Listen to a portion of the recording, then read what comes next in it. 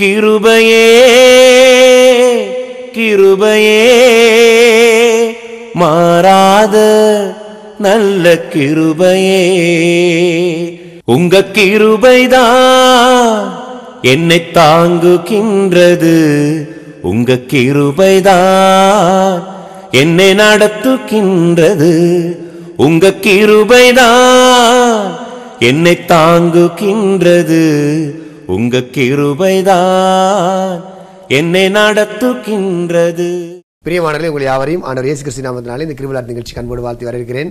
இந்த நிகழ்ச்சிகளை நீங்கள் ஒவ்வொரு வாரமும் பார்த்து பயன்பெறுவது குறித்து உங்கள் கடிதங்கள் வாயிலாகவும் தொலைபேசி வாயிலாகவும் நீங்கள் தொடர்பு கொண்டு தெரிவிப்பதன் மூலமாக நாங்கள் அதை அறிந்து கொண்டு கர்த்தரை மகிமைப்படுத்துகிறோம். இந்த நம்முடைய நிகழ்ச்சிகள் ஒவ்வொன்றுமே கிரேசியஸ் வேர்ட் என்ற நமது யூடியூப் சேனலில் பதிவேற்றம் செய்யப்படுகிறது. நீங்கள் மீண்டும் மீண்டும் பார்த்து பயன்பெறும்படியாக உங்களை அன்போடு கூட நாங்கள் ஞாபகப்படுத்துகிறோம். வீட்டில் இருந்தபடியே தபால் வழியில் பைபிள் பாடங்களை படித்து அழகிய சான்றிதழும் முழு வேதாகவும் பரிசாக பெற இன்றே எங்களை தொடர்பு கொள்ளும்படியாக அன்போடு கூட நாங்கள் உங்களை ஊக்கப்படுத்துகிறோம். இந்த நாளில் நம்முடைய செய்தியாளர் கிருவலார்த்தி பத்திரிகையின் ஆசிரியரும் ஜிசி ஸ்கூல் ஆஃப் ஆஞ்சல்ஸ் இயக்குனரும் நாற்பது ஆண்டுகளுக்கு மேலாக ஆத்தும ஆதாய பணி செய்கின்ற போதகர் பிலமோன் ராஜா அவர்கள். பிரியமானவர்களே ஆண்டவராய் இயேசு கிறிஸ்துவ நாமத்திலே உங்களை வாழ்த்தி இந்த கிருபில வார்த்தை நிகழ்ச்சிக்கு வரவேற்பதிலே நான் மகிழ்ச்சி அடைகின்றேன். படைப்பா பரிணாமமா என்ற தலைப்பின் கீழாக தொடக்க நூலாகிய ஆதி ஆகமத்திலே கடவுள் மனிதனை படைத்ததனுடைய நோக்கமும் மனிதன் பாவத்திலே விழுந்ததனுடைய விளைவாக மனிதனுடைய பாவ மன்னிப்புக்காக பாவத்திலிருந்து விடுதலைக்காக ரட்சிப்புக்காக அவர் என்ன திட்டம் வைத்தார் அது எப்படி நிறைவேறினது?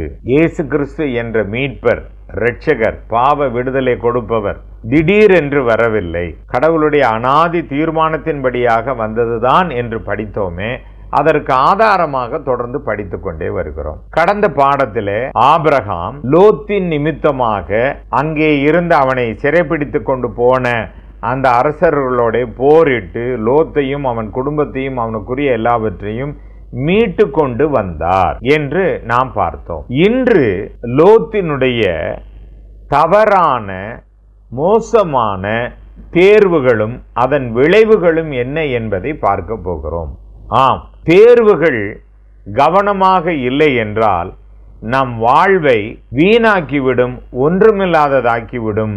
அல்லது முடிவுக்கு கொண்டு வந்துவிடும். இதுதான் இந்த நாளிலே நாம் படிக்க போகிற பாடம் லார்ட்ஸ் பூவர் சாய்ஸ் தேர்வுகளில் கவனமாக இருக்க வேண்டும். தேர்வு என்பது எப்படிப்பட்டதாக இருக்க வேண்டும் என்பதை நாம் படிப்பதற்கு நம்மை ஆயத்தப்படுத்துவோமாக.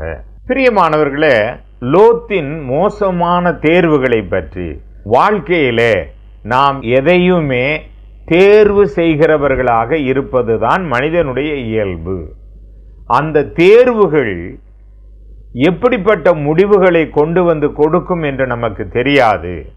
ஆனபடியினாலே லோத்தினிடத்திலிருந்து அவன் தேர்வுகளின் மூலமாக எப்படிப்பட்ட விளைவுகள் வந்தது என்பதை நாம் கற்றுக்கொள்வதற்கு நம் மனதை ஆயத்தப்படுத்துவோம். தொடக்க நூலாகிய ஆதியாகமும் பதினெட்டாம் அதிகாரம் ஒன்றாவது வசனத்திலிருந்து பத்தொன்பதாம் அதிகாரம் முப்பத்தி எட்டாவது வசனம் வரைக்கும் நம்முடைய தியான பகுதியாக நாம் எடுத்துக்கொள்ளலாம். இந்த பாடத்துல ஆபிரகாமை விட்டு பிரிந்து பிற்பாடு லோத்தின் தன்னுடைய குடும்பத்தோட எங்கு வாழ வேண்டும் என்று அவன் தேர்வு செய்தான்.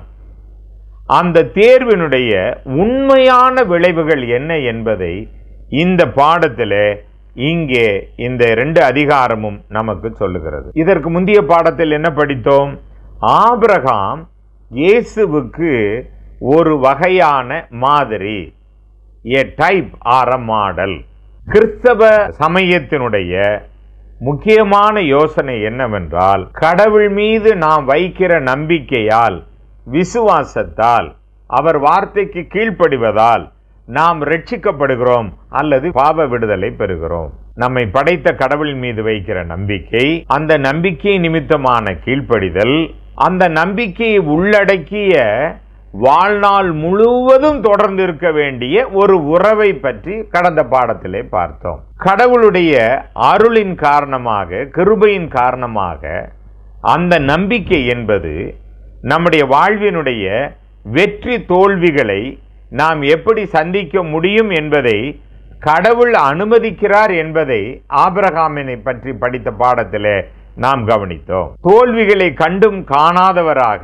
அல்லது அதை பற்றி கவலைப்படாதவராக பலவீனமான மனிதர்களாகிய நாம் புரிந்து கொள்ள முடியாதவைகளை கூட நாம் நம்புகிற ஆண்டவராகிய இயேசு கிறிஸ்து சிலுவையின் மூலமாக தோல்விகளில் வெற்றி பெறுகிற பலத்தை பலனை அவர் தரக்கூடியவராய் இருக்கிறார் என்பதை ஆபிரகாமின் வாழ்வில் நடந்ததின் மூலமாக நாம் கற்றுக்கொள்ளக்கூடியதாக இருக்கிறது. ஆபிரகாமுடைய காரியத்தில் தோல்விகளை மட்டுமல்ல நம்பிக்கை முன்னேற்றம் மற்றும் கீழ்ப்படிதலையும் நம்மாலே ஆபிரகாம் இடத்திலிருந்து கற்றுக்கொள்ள முடியும். இத ஒரு முறை அல்ல தேவையான பொழுது அல்ல சூழ்நிலைக்கு ஏற்றார் போர் அல்ல வாழ்வின் உறவாகவே அவர் இதை தொடர்ந்தார். இதை நாம் புரிந்து கொள்ள வேண்டும்.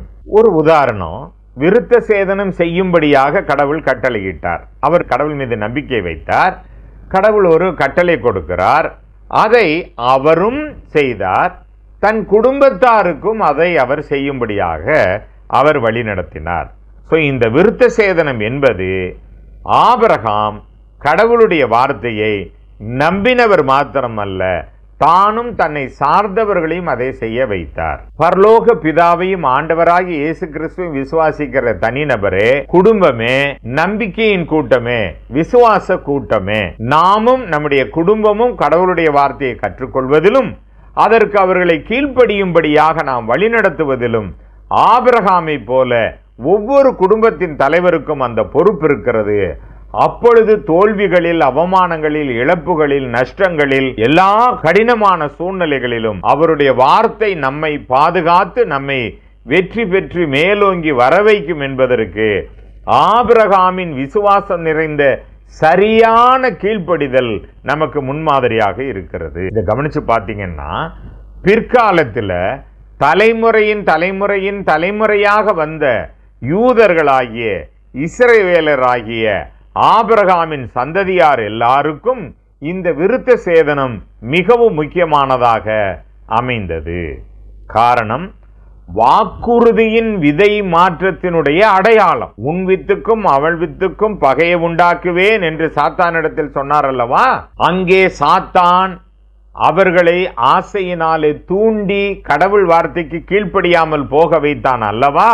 இங்கே ஆபிரகாம் ஆசையினாலே அல்ல நம்பிக்கையினாலே விசுவாசத்தினாலே கடவுளுடைய வார்த்தைக்கு அவன் கீழ்ப்படிந்ததனுடைய விளைவு சாத்தானை நசுக்குகின்ற சாத்தானை அழிக்கின்ற அந்த வித்தாகிய விதையாகிய பிற்காலத்திலே வர இருக்கிற இயேசு கிறிஸ்துவுக்கு விரும்பி ஆசையுடன் கடவுளுடைய வார்த்தையை கீழ்ப்படுகிற ஒரு மனிதனாகிய ஆபிரகாமின் மூலமாக கடவுளுடைய திட்டமானது இங்கே தொடர்கிறதை அவர் அடையாளப்படுத்துகிறார். அப்ப நம்முடைய வாழ்க்கையிலையும் நம்மை படைத்த கடவுளுடைய திட்டமானது ஆண்டவராகிய இயேசு கிறிஸ்துவனுடைய போதனையின் மூலமாக வெளிப்படுத்தப்பட்டிருக்கிறது.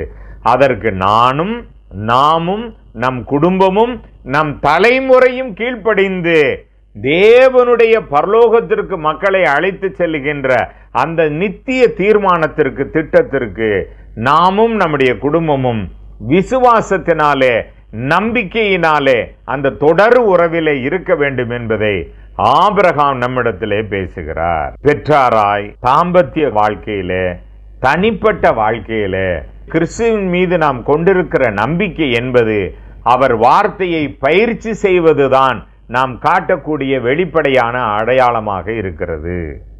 இது பரிசுத்தத்திலும் பரிசுத்தத்தை தொடர்ந்து அடைவதிலும் நமக்கு உதவி செய்கிறது.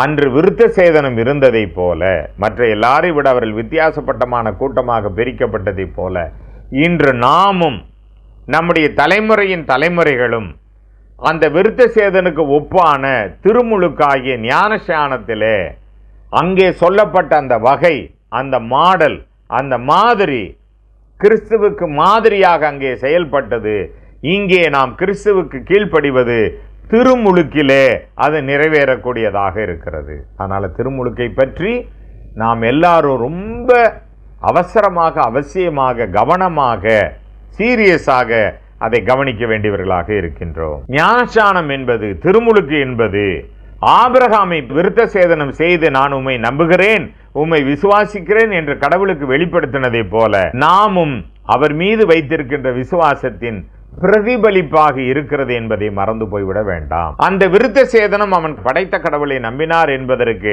அங்கே அடையாளமாய் இருந்ததை போல இங்கே பரலோகத்திற்கு நாம் போக போகிறோம். வாருங்கள் அதை பெற்றுக்கொள்ளுங்கள் என்ற அவருடைய வாக்குறுதியின் மீது நாம் வைத்திருக்கிற நம்பிக்கையின் வெளிப்பாடுதான் திருமுழுக்காகவும் திருச்சபையாகவும் திருப்பந்தியாகவும் இருக்கிறது என்பதை நாம் ஒப்பிட்டு தெரிந்து கொள்ள வேண்டியவர்களாக இருக்கிறோம். ஆதியாகமம் பதினெட்டாம் அதிகாரத்திலே ஆபரகாமை சந்திக்க ஒரு மூன்று மனிதர்கள் வருகிறார்கள். அவர்களில் ஒருவர் கர்த்தர். அவருடைய வார்த்தை கடவுள் மனிதனாக தோன்றுவார் என்பதற்கு ஒரு ஒத்துப்பாக்கிற அடையாளமாக இங்கே ஆபரகாமை சந்திக்க வந்த அந்த மூன்று நபர்களில் ஆண்களில் நாம் கற்றுக்கொள்ள வேண்டிய ஒரு வகை இருக்கிறது. இறைவன் மனிதனாக முடியுமா? முடியும் என்பதை அடையாளப்படுத்தும்படியாக ஆபரகாமை அன்று கடவுள் சந்தித்தார் என்பதை இயேசு என்னும் வார்த்தையானவர் கடவுள் மனிதனானார் என்பதை நாம் ஒப்பிட்டு பார்க்கிற வகைக்கு இங்கே அடையாளமாக இருக்கிறது. கடவுள் மோசேக்கு எரியும் புதரிலே தோன்றினார். கடவுள் எலியாவுக்கு ஒரு காற்றாக தோன்றினார். கடவுள் ஏன் மனிதனாக தோன்ற முடியாது? என்ற கேள்விக்கு இந்த நிகழ்ச்சி நமக்கு பதிலை கொடுக்கிறது. இயேசு வந்ததற்கும் இங்கே வந்ததற்கும் ஒற்றுமையோ வேற்றுமையோ என்ன என்று நாம் பார்க்கும் பொழுது அங்கே வந்த மூன்று பேரிலே ஆண்மகன் வடிவிலே வந்தார். அல்லவா? ஆபிரகாமை சந்திக்க வந்தவர். இயேசு கிறிஸ்து மனிதனாக ஆண்மகன் வடிவிலே வந்தார். யோசித்து பாருங்கள் ஒப்பிட்டு பாருங்கள். நம்புவதும் ஏற்றுக்கொள்வதும் அவரவருடைய விருப்பம். ஆனால் அன்று நடந்தது இனி எதிர்காலத்திலே கிறிஸ்துவானவர் வார்த்தையானவர் இறைவன் மனிதனானார். ஆண்டவராகிய இயேசு கிறிஸ்து கடவுள் கடவுள் மனிதனானார் என்பதை ஒப்பிட்டு நம் விசுவாசத்தை வளர்த்து கொள்ள அது நமக்கு உதவி செய்கிறது. கடவுளும் மனிதனும் உறவு கொள்ளும்படியாக இயேசு இந்த பூமிக்கு வர வேண்டியது இருந்தது. அதற்கு அடையாளமாக ஆபிரகாமை சந்திக்க கடவுள் வந்தார் என்பதை நாம் ஒப்பிட்டு புரிந்து கொள்ள வேண்டியவர்களாய் இருக்கிறோம். அங்கே நம்பிக்கை தேவைப்பட்டது இந்த உறவை நம்புவதற்கு அந்த உறவின் அம்சத்தை நாம் பார்க்கும் பொழுது அங்கே கடவுளுடைய அருள் இரக்கம் வெளிப்பட்டது. தோல்வியிலே உதவி செய்யும்படியாக அவர் வருகிறார். நம்பிக்கை அதை சார்ந்த முன்னேற்றம் இது கீழ்ப்படிதலினாலே வெளிப்படுத்தப்பட்டது. ஆபிரகாம் நம்பினான் அவன் கீழ்ப்படிந்தான். அதற்காக இறைவன் அவனை தேடி வருகிறார். நாமும் இறைவன் மனிதனானாரே அந்த இயேசுவை நம்பி தேடி வந்து அவர் வார்த்தைக்கு கீழ்ப்படியும் பொழுது நாம் அவரை சந்திக்க முடியும் என்பதை இரட்சகரை மீட்பரை நாம் சந்திக்கின்ற கிருபை பெறுகிறோம் என்பதை மறந்து போய்விட வேண்டாம். விருத்த சேதத்தினுடைய முக்கியத்துவம் என்ன? விதையினுடைய அடையாளம் என்ன? கடவுளுடைய விருப்பத்தில் இது அவருடைய சித்தத்தில் இது எந்த பகுதியாக இருக்கிறது? நம்பிக்கையினுடைய அடையாளமாக இருக்கிறது இந்த விருத்த சேதனம். விருத்த சேதனம் என்பது பரிசுத்தமாக்கப்படுவதற்கான ஒரு அடையாளமாக இருக்கிறது. இதை அப்படியே திருமுழுக்கோடு ஒப்பிட்டு பார்ப்போமே. ஞானஸ்தானம் எடுக்கணுன்றதெல்லாம் அவசியம் இல்லை. ஞானஸ்தானம் எடுக்க சொல்லிலாம் கட்டாயப்படுத்தாதீங்க. எப்படி வேண்டுமானாலும் ஞானஸ்தானம் எடுத்துக்கொள்ளலாம். அந்த வார்த்தைகளை எல்லாம் ஒரு பக்கம் வைத்துக் கொள்வோம். இப்ப விருத்த சேதனுக்கு ஒப்பனையான திருமுழுக்கானதுன்னு ஒப்பிட்டு பேசுறார் அல்லவா? புதிய ஏற்பாட்டிலே. அப்ப இந்த விருத்த சேதனத்தை பார்க்கும் பொழுது அதுல என்னென்ன இருக்கிறது? அந்த வித்தின் அடையாளம் இருக்கிறது. கடவுளுடைய சித்தத்தினுடைய விருப்பத்தினுடைய அந்த பாதுகாப்பு அங்கே இருக்கிறது. The enclosure in God's will sign of faith நம்பிக்கையின் அடையாளம் அதில் இருக்கிறது. சைன் ஆஃப் சயின்டிஃபிகேஷன் பரிசுத்தமாக்கப்படுவதற்கான அடையாளம் இருக்கிறது. இதை நாம் ஒப்பிட்டு பார்ப்போம். ஆம் திருமுழுக்கு என்பது நாம் வைத்திருக்கிற நம்பிக்கைக்கு காட்டுகிற பதிலாய் இருக்கிறது. விசுவாசிகளை அடையாளம் கண்டுகொள்வதற்கு அது உதவி செய்யக்கூடியதாக இருக்கிறது. கடவுளுடைய பரலோகத்திற்கு கொண்டு செல்வோம் என்றும் பாவத்தை இயேசுவின் ரத்தம் மன்னிக்கிறதும் என்ற கடவுளுடைய வாக்குறுதியின் ஒரு பகுதி என்றும் அந்த ஒரு பகுதியை நாம் நம்புகிறோம் என்பதை வெளிப்படுத்துவதெல்லாம் திருமுழுக்கிலே இருக்கிறது. வெறும் தண்ணிக்குள்ளே போயிட்டு தண்ணியிலேருந்து வெளியில் வர்றது அதை நம்பி போயிட்டு வர்றது மாத்திரம் இல்லை அதற்குள்ளே இந்த இன்கிரீடியன்ஸ் என்று சொல்வார்கள். இவை எல்லாம் கலந்து இருக்கிறது என்பதை நாம் நினைவில் கொள்ள வேண்டியவர்களாய் இருக்கிறோம். ஆதியாகவும் பதினெட்டாம் அதிகாரம் பனிரெண்டாவது வசனத்தை கவனிப்போம். ஆகையால் சாரால் தன் உள்ளத்திலே நகைத்து நான் கிழவியும் என் ஆண்டவர் முதிர்ந்த வயதுள்ளவருமான பின்பு எனக்கு இன்பம் உண்டாயிருக்குமோ என்றாள். அப்பொழுது கர்த்தர் ஆபிரகாமை நோக்கி சாரால் நகைத்து நான் கிழவியாயிருந்து பிள்ளை பெறுவது மெய்யோ என்று சொல்வானேன். கர்த்தரால் ஆகாத காரியம் உண்டோ? உற்ப கால திட்டத்தில் உன்னிடத்தில் திரும்ப வருவேன். அப்பொழுது சாராளுக்கு ஒரு குமாரன் இருப்பான். கடவுள் மனிதனாக முடியுமா? மனிதனாலே கடவுளை கொண்டு வர முடியாது. ஆனால் கடவுளாலே எல்லாம் முடியும். கேள்விக்கு பதில் கவனிங்க. சாரால் கிழவியும் வயது சென்றவளுமாய் இருக்கிறாள். கற்பம் செத்தவளாய் இருக்கிறாள். அவள் கணவனும் வயதானவனும் பலவீனமானவனும் இருக்கிறான். எப்படி எங்களுக்கு ஒரு குழந்தை உண்டாகும்? குழந்தை கொடுத்தாரே ஈசாக்கை கொடுத்தாரே. அதேதான் இறைவன் மனிதனாக முடியுமா? இயேசுவின் வருவில் வந்தவர் கடவுளா? இயேசுவை கடவுள் என்று நம்பலாமா? கடவுள் நினைத்தால் அவராலே எதையும் செய்ய முடியும். இந்த கேள்வியை தலைமுறை தலைமுறையாக ஆபிரகாமை நம்பின அந்த சந்ததியார் இயேசுவை பார்த்து கேட்டார்கள் பரமபிதா என் தகப்பன் என்று அவரை சொல்லுகிறாயே இயேசுவே எங்க கடவுளுக்கு யார் கிடையாது? மனைவி கிடையாது பிள்ளைங்க எல்லாம் கிடையாது அப்படின்னு மனுஷ சிந்தனையிலேயே அவங்க பேசுறாங்க. அப்ப இயேசு சொல்லுகிறார் இந்த கல்லுகளிலிருந்து அவராலே பிள்ளைகளை உண்டாக்க முடியும் என்று சொல்லி சொல்லுகிறார். இப்போ கடவுள் மனிதனாக முடியுமா என்ற சந்தேகமா? அல்லது கடவுள் ஏன் மனிதனானார் என்ற கேள்விக்கு பதில் கண்டுபிடிக்க கேட்கக்கூடிய கேள்வியா? கடவுளை குற்றப்படுத்த இயேசுவை குற்றப்படுத்துவதற்கான கேட்கப்படுகிற கேள்விகளா? அல்லது ஏன் இறைவன் மனிதனாக வேண்டும்? அதனால எனக்கு என்ன பிரயோஜனம் என்ற நம்பிக்கை வளரும்படியான கேட்கப்படக்கூடிய கேள்வியா? இது ரெண்டிலையும் தான் வித்தியாசம் இருக்கிறது என்பதை நாம் மறந்து போய்விட வேண்டாம். சாரால் பயந்து நான் நகைக்கவில்லை என்று மறுத்தால் அதற்கு அவர் இல்லை நீ நகைத்தாய் என்றார். ஆம் நம்ம புரிஞ்சுக்கிற மாதிரி பாஷையில் கடவுள் டீல் பண்ணுறாரு பாருங்க. கடவுள் மேலே நம்பி வருவோம் பாவ மன்னிப்புக்காக திருமுழுக்கு பெறுவோம் திருப்பந்தி முக்கியன்னு வைப்போம் கடவுளுக்கு கொடுக்கணுன்றதை தெரிஞ்சு நாம் கொடுப்போம். தசம் வாங்கிட்டு ஏமாத்துறாங்க தசமாக வாங்க சொல்லி இது கட்டாயப்படுத்தல கிறிஸ்தவங்களை அப்படின்னு அது ரைட்டு தான் அப்படி சொல்லக்கூடாதான். இதை பேசுகிறதெல்லாம் கேட்டுட்டு கடவுளுக்கு கொடுக்கறதே நிறுத்திடுவோம். நீ இப்படி தப்பாலாம் ஜெபம் பண்ணாத சரி அப்படின்னு சொன்னா சரியா எப்படி ஜெபம் பண்றதுன்னு கேத்து கத்துக்கிறது இல்ல ஜெபம் பண்றதே நிறுத்திடுவோம். சர்ச்சுக்கு போனா எல்லாம் முடிஞ்சிருமா? சர்ச்சு தான் உன்னை காப்பாத்துமா? சர்ச்சு முக்கியம் இல்ல. அப்படின்னு யாராவது ஒன்று பேசிட்டா கடைசியில் சபை தொழுகைக்கு போகிறது சபை பைபிள் ஸ்டடிக்கு போகிறத நிறுத்திடுவோம். குடும்ப ஜபத்தினால தான் பிரச்சனை வந்துச்சுன்னு ஒன்று குடும்ப ஜெபத்தையே விட்டுருவோம். இதை ஏன் இப்போ ஞாபகப்படுத்துகிறேன் இந்த இடத்துல அப்படின்னா சாரால் நீ நகைத்தாய் அப்படின்னு ஆண்டவர் சொல்கிறப்ப இல்லை அப்படின்னு சொல்லி சொல்கிறப்ப ஆண்டவர் திரும்பி அழுத்தம் திருத்தமாக பேசுகிறார் உன்னை ஒத்துக்கிறீங்க உன்னை சந்தேகப்படுறீங்க ஒரு கேள்வி கேட்குறீங்க மனிதர்களே உங்களுக்கு நான் பதில் சொல்கிறேன் சொல்கிறப்ப நான் செய்வேன்னப்ப நீங்கள் உங்களால் என்ன முடியும் முடியாதுன்றத நினச்சி கடவுளால் இதெல்லாம் ஆகுமா? கடவுள் மனுஷனானான்றதை நம்பலாமா? அப்படின்னு சாராலை போல விசுவாசத்தை வளர்த்து கொள்வதற்கு பதிலாக நாம் நகைக்கும் பொழுது கடவுள் நம்மிடத்தில் கண்டிப்பாக பேசுகிறார். நான் சொல்றதை ஏத்துக்கன்னு நம்ம மேல ஃபோர்ஸ் பண்ணல. நம்ம பகுத்தறிவுக்கு பதில் வரும்படியாக நீ கேட்டு கத்துக்கிட்டு என்னை நம்பு. என்னால செய்ய முடியும் என்ற நம்பிக்கை நீ வளர்த்துக்கொள் என்று இன்று நம்மிடத்தில் பேசுவதை போல அன்றும் சாராளிடத்திலே அவள் பேசினார். சரி இதெல்லாம் நடந்துவிட்டது. இப்பொழுது நாம் லோத்தின் விஷயத்திற்கு வர வேண்டியவர்களாக இருக்கிறோம். இப்போ மூணு பேர் வராங்க வந்து பேசிட்டு போயிடுறாங்க சாரால்கிட்ட பேசுகிறாங்க இப்போ ஆபிரகாம் ஒரு காரியத்தை செய்கிறார். சோதோமின் மீது ஒரு தீர்ப்பு வரப்போகிறது. சோதோம் குமாராவினுடைய அக்கிரமத்தின் நிமித்தமாக அவர்கள் நியாயந்திருக்கப்பட போகிறார்கள். அவர்கள் நடத்தையில மாத்திரமல்ல அவர்களுடைய வாழ்க்கையிலேயும் கடவுளை புறக்கணிக்கிறார்கள். ஆனால் அந்த சோதோமிலே ஆபிரகாமினுடைய உறவினனாகிய லோத்து அங்கே இருக்கிறார். அப்ப அந்த லோத்தை மீட்டுட்டு அவர் வந்த பிற்பாடு லோத்து சார்ந்த காரியம் அங்கே இருக்கிறது.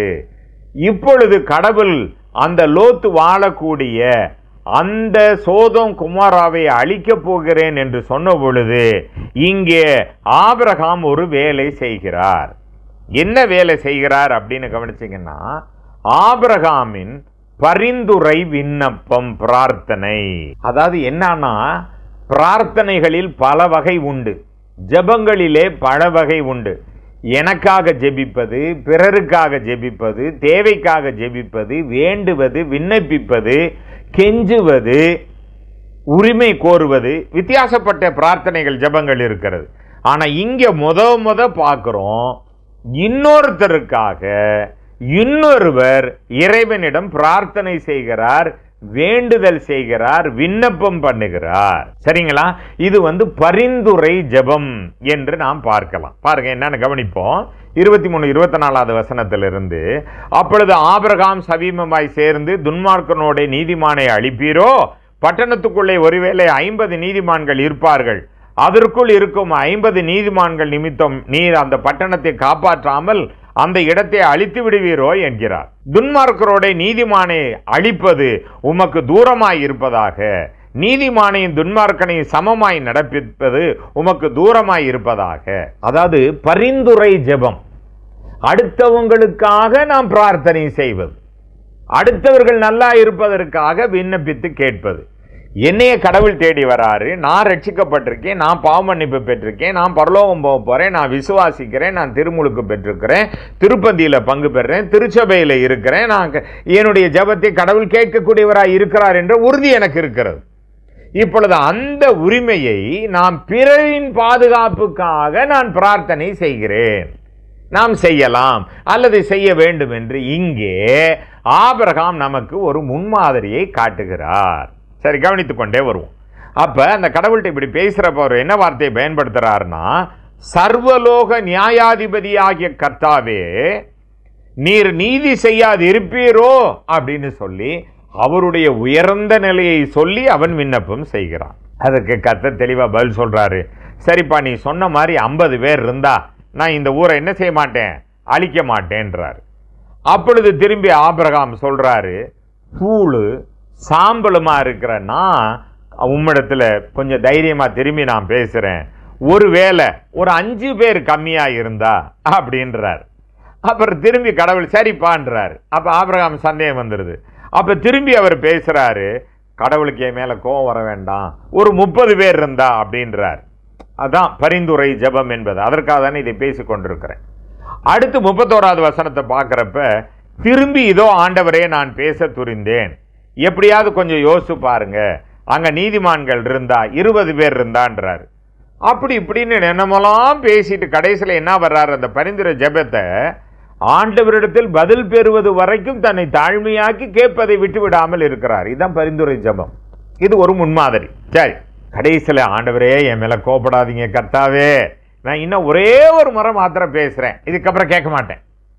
என்னன்னாலும் நீங்கள் முடிவெடுத்துக்குங்க. எனக்கு கொஞ்சம் தயவுசெய்து அனுமதி கொடுங்கன்றார். சரி. என்னன்னா ஒரு பத்து நீதிமான் அங்கே இருந்தால் அப்படின்றார். கத்தர் சொன்னார் பத்து பேர் இருந்தாலும் காப்பாத்துறேன்றார்.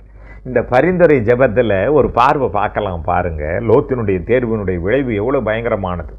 வாழ்க்கையில் சூழ்நிலைக்கு ஏற்ற மாதிரி நாம் முடிவெடுக்க வேண்டாம். எந்த முடிவுகளையும் வசனத்தின்படி எடுக்க வேண்டும்.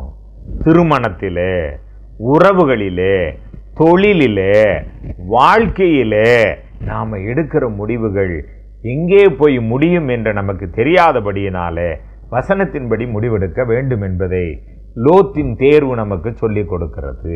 ஏன் ஆபிரகாம் இந்த வார்த்தையை கேட்குறாரு அப்படின்றப்ப வசனத்தை கவனித்து பார்த்தீங்கன்னா பத்து பேர் இருந்தால் அழிக்க மாட்டேன்னு சொல்லிட்டு கத்தர் ஆபிரகாமோட பேசி முடிந்த பின் போய்விட்டார்.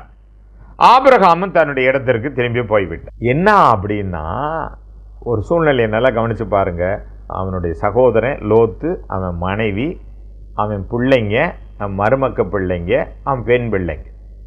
ரைட்டுங்களா? இதெல்லாம் கணக்கு போட்டு பார்த்தா ஒரு பத்து பேர் வருது. அவனுடைய உண்மையான நோக்கம் எப்படியாவது தன்னுடைய உறவின் குடும்பத்தை என்ன செய்து விட வேண்டும்? காப்பாற்றி விட வேண்டும் என்று கெஞ்சி கேட்கிறான். ஒரு நீதிமான் ஜெபம் மிகவும் பலனுள்ளதாக இருக்கிறதுன்றதுக்கு அப்பட்டமான ஆதாரம் பாரு. அப்போ நாம் திருச்சபைக்கு போகிறத திருப்பந்தியில் பங்கு பெறத குடும்ப ஜெபம் நடத்துகிறத நம் பாவங்களை அறிக்கையிட்டு மன்னிப்பு கேட்பதை பரிசுத்தத்தின் மூலம் இன்னும் பரிசுத்தமாவது நீதி உள்ளவன் இன்னும் நீதி செய்கின்ற விஷயத்தில் எவ்வளவு கவனமாக இருந்தோன்னா தவறான முடிவெடுத்த நம்மை சார்ந்தவர்களை நாம் நேசிக்கக்கூடியவர்களை கர்த்தரை நோக்கி திரும்பி வர வைக்கவும் கர்த்தருடைய கிருபை அவர்களுக்கு பெற்றுத் தருவதற்கும் நம்முடைய பிரார்த்தனை பலனுள்ளதாக இருக்கக்கூடும். திருச்சபையே எல்லோரும் பாவத்தை பாவம் என்று உணர்ந்து பாவத்திலிருந்து மனம் திரும்ப வேண்டும் என்றும் ஒவ்வொரு நாளும் நாம் விண்ணப்பம் பண்ண வேண்டியது நம்முடைய கடமையாக இருக்கிறது. பரிந்துரை ஜெபம் நாம் செய்ய வேண்டியவர்களாக இருக்கிறோம். ஆபிரகாமின் பிரார்த்தனை நமக்கு என்ன சொல்லிக் கொடுக்கிறது? லோத்தினுடைய தேர்வு நமக்கு என்ன சொல்லிக் கொடுக்கிறது? ஆபிரகாமினுடைய பிரார்த்தனை என் கடவுள் சரியானதை செய்வார். நம்புவோம். பத்து என்பது சரியாக தன் குடும்பத்தின் நீங்களும் நானும் ஜெபம் பண்ணுறப்ப குறிப்பாக ஜெபம் பண்ணணும். கடவுளே எல்லாரும் நல்லா இருக்கணும். கடவுளே எல்லாம் நல்லா நடக்கணும். அது என்னங்க? எத்தனை பேருங்க நல்லா இருக்கணும்? அப்புறம் நாமளே சொல்கிறோம் இவங்கெல்லாம் ரொம்ப துரோகம் பண்ணுறாங்க அவங்களெல்லாம் திருத்த மாட்டீங்களான்னு. ஸோ பேசுகிறது புரிகிறதா? அப்போ ஜபத்திலே குறிப்பாக இருந்து சரியாக ஜபிக்கும் பொழுது அவர் செய்வார். பத்தொன்பதாம் அதிகாரம் ஒன்றாவது வசனத்தை பார்த்தா அந்த ரெண்டு தூதரும் சாங்காலத்திலே சோதோமுக்கு வந்தார்கள். லோத்து சோதோமின் வாசலிலே உட்கார்ந்திருந்தான். அவர்களை கண்டு லோத்து எழுந்து எதிர்கொண்டு தரைமட்டும் குனிந்து மூணு பேரில் ரெண்டு பேர் போகிறாங்க அந்த பட்டணம் அழிக்கப்பட போகுதுன்னு சொல்லி சொல்கிறாங்க அவங்களுடைய மோசமான அசிங்கமான நிலைமைகள் அங்கே அடையாளம் காட்டப்படுகிறது. கடைசியில் லோத்தை கட்டாயப்படுத்தி இழுத்து கொண்டு வெளியே போகிறார். பிற்பாடு வானத்திலிருந்து அக்னி கந்தவம் கீழே விழுந்து அந்த ஊர் எரிந்து அழிந்து ஒன்றுமில்லாமல் போகிறது. ஒரு முறை வெள்ளத்தாலே முழு உலகமும் அழிக்கப்பட்டது பாவத்தினுடைய விளைவினாலே இன்னொரு முறை இப்பொழுது இருக்கிற உலகமானது நெருப்பிலே இருக்கிறது முழுவதும் எரிந்து அழிந்து போக போகிறது என்பதற்கு இந்த லோத்தினுடைய வாழ்ந்த அந்த சோதம் குமாராவுக்கு நடந்ததின் மூலமாக நித்திய நியாய தீர்ப்பை பற்றி நமக்கு எச்சரிக்கை கொடுக்கிறார். யோசித்து பார்ப்போம். ஆபிரகாமை போல விசுவாசத்தை கற்றுக்கொண்டு தொடர்ந்து வாழ்க்கை முழுவதும் அந்த உறவை கீழ்ப்படுத்திக் கொள்ள வேண்டுமா? அல்லது நாமாக தேர்வு செய்து வேறு வழி இல்லாமல் எல்லாவற்றையும் இழந்து போகக்கூடியவர்களாக இருப்போமா? லோத்தின் மனைவி கடைசி வரைக்கும் அந்த விசுவாசத்தின் பக்கத்தில் வராததுனால அவள் பின்னிட்டு திரும்பி பார்த்து உப்பு தூணானா? யோசிப்போம். சரியான முடிவெடுப்போம். தீர்மானங்கள் நமக்கானவைகளாக இருந்தாலும் அது கர்த்தருடைய வார்த்தையின்படியானதாக ஆபிரகாமை போல விசுவாசத்திற்கென்று விசுவாசத்தினால் வருகிற தீர்மானங்களாக இருக்க உன்னதத்தின் தேவன் உதவி செய்வாராக. ஆமே பரிசுத்த வேதாகமத்தை முறையாக கற்றுப்பெறும் ஆசிர்வாதம் வாழ்க்கையில் கிடைக்காமல் போய்விட்டதே என்று ஏங்குவோருக்கு ஓர் அரிய வாய்ப்பு. நீங்களும் வீட்டிலிருந்தே பரிசுத்த வேதாகமத்தை கற்றுக்கொள்ளலாம். சான்றிதழ் மற்றும் பரிசுத்த வேதாகமத்தை பரிசாக பெற கிருபை உள்ள வார்த்தை தபால் பெட்டி எண் பதினைந்து அரசடி மதுரை ஆறு இரண்டு ஐந்து பூஜ்ஜியம் ஒன்று ஆறு. மேலும் தொடர்புக்கு ஒன்பது இரண்டு நான்கு நான்கு இரண்டு ஒன்று நான்கு நான்கு இரண்டு ஒன்று. ஒன்பது இரண்டு நான்கு நான்கு மூன்று ஒன்று நான்கு நான்கு மூன்று ஒன்று. நீங்கள் ரட்சிக்கப்பட வேண்டும் என்பது தேவனுடைய சித்தமாயிருக்கிறது. சரியான சத்தியத்தை கேள்விப்பட வேண்டும். சத்தியத்தை விசுவாசிக்க வேண்டும். பாவ வாழ்வை விட்டு மனம் திரும்ப வேண்டும். இயேசுவே தேவனுடைய குமாரன் என்று நாவினால் அறிக்கையிட வேண்டும். பாவ மன்னிப்புக்கென்று ஞானஸ்நானம் பெற வேண்டும். ரட்சிக்கப்படுகிறவர்களை கர்த்தர் அனுதினமும் சபையிலே சேர்த்து கொண்டு வந்தார். அன்பு நேர்களே நீங்கள் மதுரையில் இருப்பவர்களானார் எங்களுடன் சபையில் சேர்ந்து ஆராதிக்க உங்களை அன்புடன் அழைக்கின்றோம். எங்களுடைய சபை ஆராதனை நேரங்கள் ஞாயிறு காலை ஒன்பது முப்பது மணிக்கும் மாலை ஆறு முப்பது மணிக்கும் மற்றும் வேத ஆராய்ச்சி புதன் மாலை ஆறு முப்பது மணிக்கும் நடைபெறுகிறது.